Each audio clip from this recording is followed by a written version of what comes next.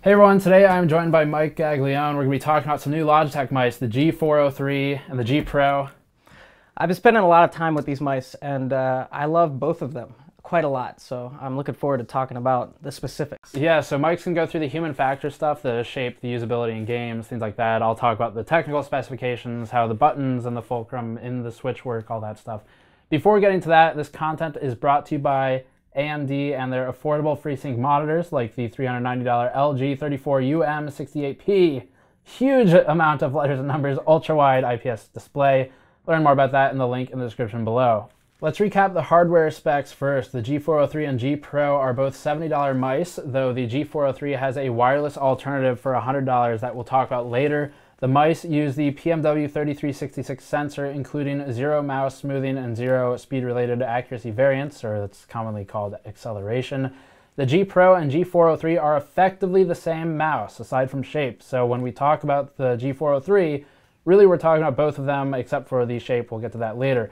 The internal specs are the same. Each mouse has two thumb buttons, a DPI button, LMB, RMB, and a middle mouse button, which opt out of the Logitech Hyper Scroll Wheel and instead uses a mechanical scroll tracking wheel instead of the optomechanical tracking they've used in the G900 and the Proteus Core mouse.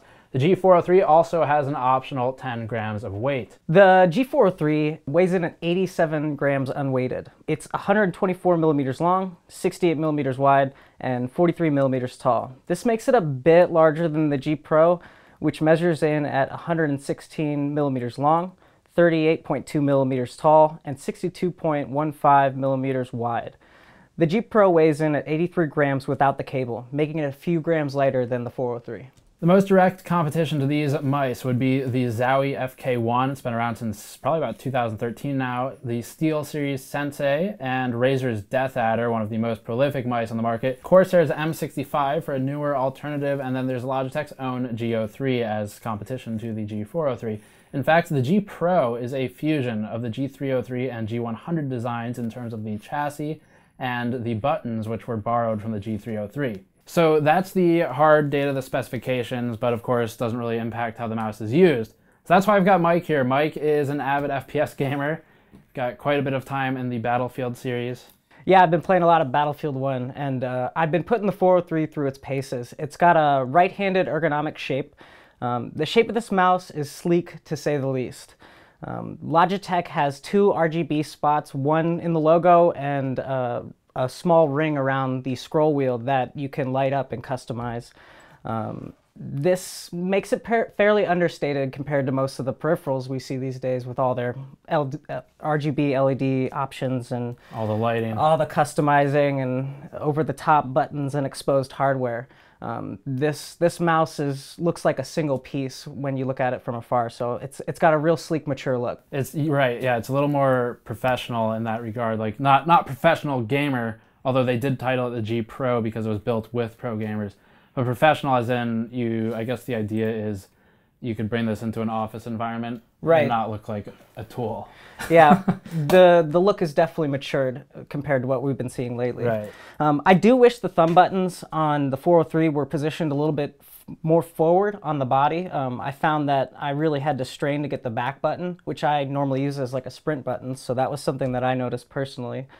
Um, what about the coating, the surface material? The surface material is great on both of them. Both of the top coatings for both of these mice have uh, is it's like a plastic, but it's it's a matte finish, and it really repels grime and sweat and uh, all the stuff. All you, the nastiness. Yeah, and I I'm kind of in middle of the range with that. I get my hands get a little sweaty after a lot of gaming, and that's something I definitely appreciate. Is a good, nice surface that. Re- well, that was that was that a problem. Well with the MX518, which I think you used. Yeah, I've owned both a 518 and a SteelSeries Sensei, and both of those have a gloss top finish. And yeah. they just collect dirt and sweat, and it's gross. And yeah. I got to clean, I had to clean my mouse all the time. Yeah, so these are a little better with that. I've been using the G900 for several months now since we reviewed it in May. That's this. Uh, it's really not collected a bunch of garbage. So uh, they this is the same coating material as these, so it, it holds up pretty well. It doesn't get as grimy and nasty as like the G the MX518 or the G5 used to. And one thing that is different between these two mice is that the 403 has a rubberized side to it that I absolutely love. In fact, I really wish that the whole mouse had this texture on it because it's sticky, it cleans easily, and it, it just provides a real positive grip whenever I'm, I'm swiping left and right. Um, the G Pro has kind of a harder plastic finish to it. Um, I almost would have been happy if they took the surface material from the top and put it all the way around the mouse as well, but um, this one kind of slipped out of my hand a few times and uh, It's also smaller. it is smaller, so the size is definitely uh, had been became an issue for me. Um, I'm really used to these bigger mice that that fit into my hand and really fill up the grip that I use. Right. And I kind of use uh, somewhere between a palm and a claw grip. But um, this mouse, when I got it settled in the back of my hand, I found my fingers were landing really far forward on the mouse. Um, which led to a couple accidental clicks uh, Right. throughout one evening of gaming with my friends. They weren't too pleased about that.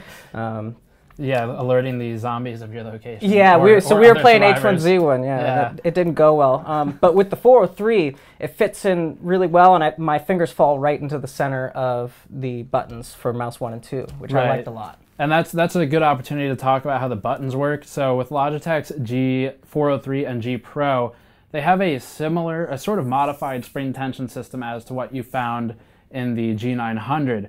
And the difference is basically the G900 uses a mechanical pivot, and so that pivot will have an image of it too that you'll be able to see more clearly what's going on.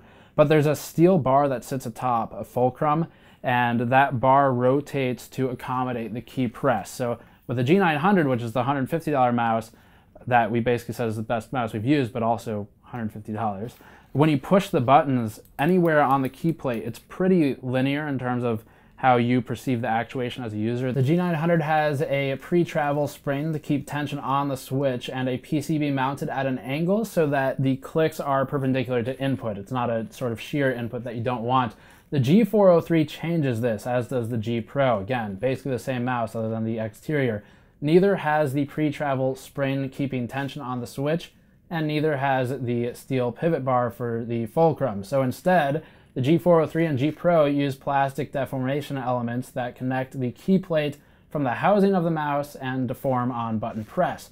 This is less sophisticated than the G900, and we don't think it has as even a distribution of force across the key plate, but it also works better than some competing mice. The Death Adder, for instance, Razer's mouse, has a key plate that can flex under load because the key plate is acting as that deformable element. It's receiving all of your force.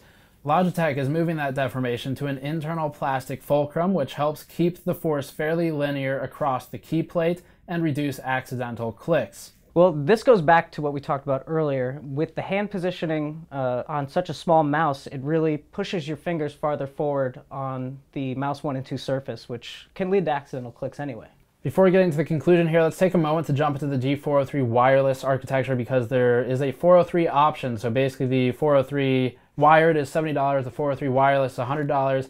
The G403 wireless uses the same architecture as the G900 Chaos Spectrum mouse that we praised previously.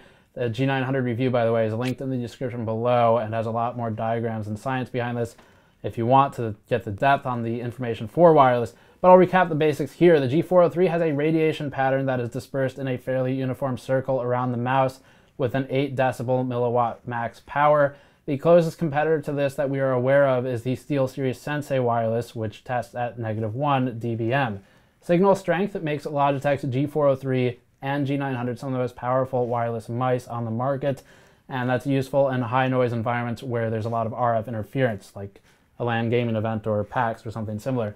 You'd be able to get away with using the 403 wireless without a cable connection from the floor of a LAN event and would be able to do so with a battery life of approximately 20 to 24 hours run to die with the lights enabled. And again, there's a lot more of that in the G900 article, so if you want to learn more about the interference and click latency testing, hit that article. Probably one of the only slights against this, these mice is uh, neither of them has uh, adjustable lift liftoff, which for 60 to 70 dollars i really think you should have that feature. It's something i really like and it's a feature i notice when it doesn't go right. Um, for me it normally manifests itself as the mouse stops reading too soon. So i'll be doing a big swipe left or right and i won't turn as far as i thought. And not being able to adjust that for my mouse is, is, is a pretty big negative but i didn't have any problems with either of these guys uh, lift off distance. Yeah yeah liftoff is a pretty interesting problem to solve too. There's not a an option to tune that, as you said, in the LGS software, which we should probably mention is really at a top level. LGS works pretty well, and yeah, not I've, a lot more that you need. I've had no problems. The Logitech software works great, and it does what it's supposed to, and you don't think about it, which is the way that software should be. Right. Yeah, it's not too aggressive or invasive. There's RGB synchronization with your other Logitech devices if you have them. But like I was saying, there's no lift-off adjustment in there. There is, however, a uh, surface tuning option. So this uses sort of a, a, takes a white balance basically. It looks at the surface of whatever you're mousing on, the mousing surface, the mouse pad or otherwise, and that optimizes how the sensor responds to the surface. And that's again the PMW3366 sensor. It's in most of the mice Logitech makes currently today. Uh, so it, it works well. It's not like just a gimmicky marketing thing. Now, I don't think you need the surface tuning, but it's not just complete BS either. Like you actually do see. Yeah, and it, it might compensate if you got a really dirty mouse pad. Um, right. It might, you know, it, the software might come with presets for what your mouse pad might have been like when it was new, but if it's real dirty and you do that surface tune, it might increase accuracy. Yeah, that's something I haven't tested either. Just like, just get a terrible. Well, used, we're fresh and clean yeah. all the time, so. Yes, of course. so, uh, conclusion. What do we think about this? I guess we should mention as well. There is a weight in the G403. There is one weight, and I've got to say it's the most clever weight and my favorite weight system I've ever seen in a mouse because it really simplifies it for me. It takes the guesswork out of what I want. It, you either have the weight in or you don't. It's right. magnetic, and it just comes out and goes back in incredibly easy. There's no trays or containers that you have to store you your lose. weights in. Yeah. Yeah. It's one extra piece for the mouse and it it's it's just clever. I like it. It's sleek. Yeah, if you wanted it to be closer to 107 grams or something like that, or 100 grams, I suppose would be the depends on if you if you weigh it with or without the cable, then you add the weight. But uh, to me, I don't really feel that much of a difference these days. I generally do, I play without the weights in the mice. I take all the weights out as well. Yeah. But if I guess if you wanted the extra weight, it's there. Uh, so in terms of usability, it the mice work as you'd expect. The sensing is accurate. The sensors are positioned pretty much in the middle of the mice. There is a difference between these two, I suppose, right? Yeah.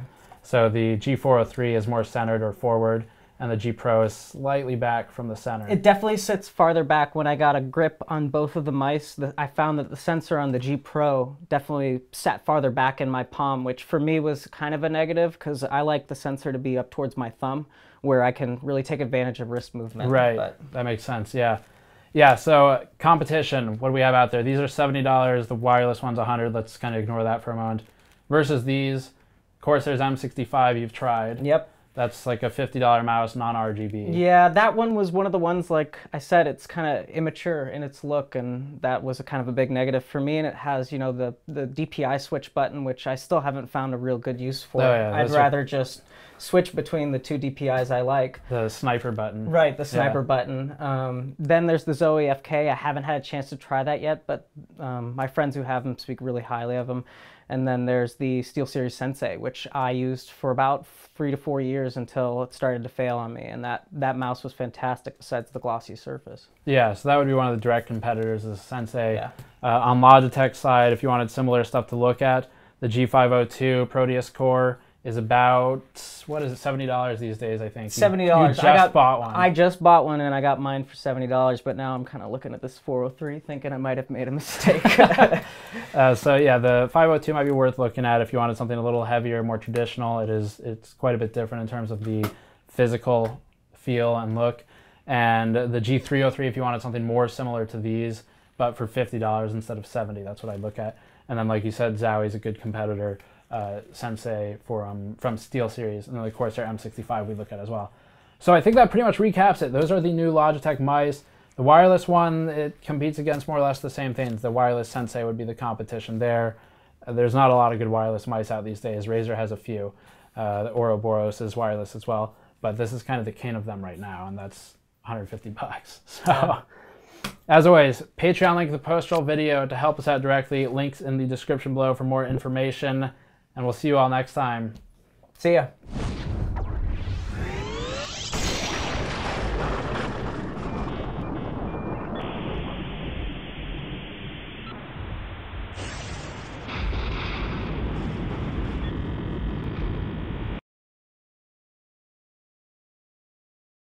Today I'm joined by Mike Gaglione to review some Logitech mice, the G403 and the G Pro. Mike, how's it going? I'm good. I'm ready. I'm ready to talk about some mice, man. I've, been, I've put a lot. Do better than that. Sorry. I'm Italian. These mice, they feel good. we got the click noise. we got our decibel test. Shit, you're recording.